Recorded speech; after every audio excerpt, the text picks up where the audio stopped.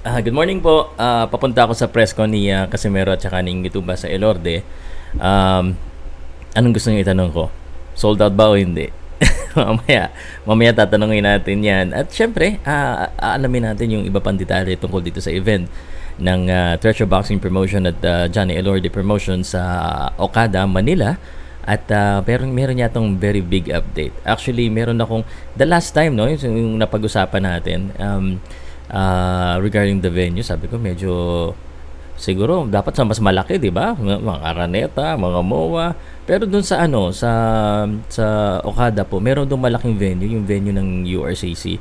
Kung talagang uh, maraming uh, malakas ang uh, demand talaga, no? Maraming demand or marami pa naghahanap ng ticket, meron doon yung The Cove. Anyway, um, let's see what happened kung uh, napuno ba yung 1.5 or ano ba yan, kung sold out ba hindi.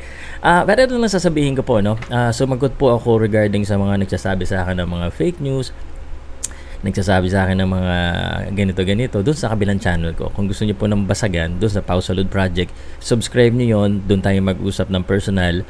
Uh, doon ako sasagot. Nas namo-motivate ako sa magod na ng ano eh ng uh, walang uh, filter eh ng uh, uh, maayos. But uh, in in the sense po na gusto ko lang sabihin sa inyo that this video is about uh, uh, inviting you and letting you know that there's a, a press conference that's happening uh, later today uh, at the Elorde in uh, Paranaque and uh, uh, we get to see all of the fighters at least the main event. Uh, I know kasi nakikita ko na yung mga ibang uh, taga Cebu na boxers na lalaban doon na palipad na sa Manila. So I'm very excited about the event and um, Uh, ano ba yung pwede ko? Ang isa kong pwede itanong siguro, bakit sa, sa Pilipinas kinanap in laban uh, and bakit sa Okada, bakit yun ang pinili nila? Of course, we all know that maraming Pilipino na gusto siyang makita. Uh, but you know, what's the real motivation? Sinasabi nga ng ibang tao, no? Walang kita dito sa Pilipinas.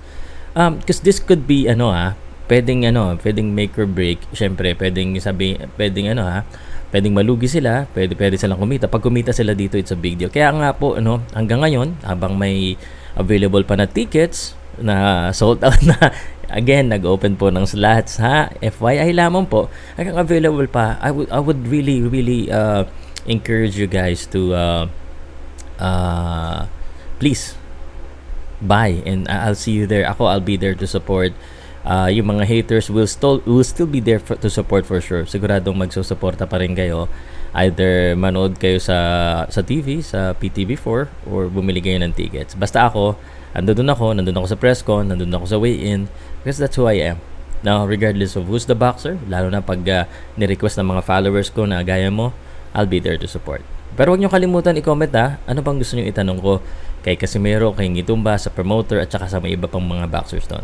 Salamat po. Kita-kita tayo.